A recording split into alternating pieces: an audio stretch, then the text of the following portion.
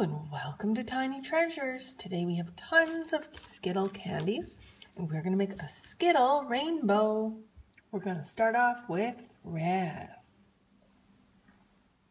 then orange,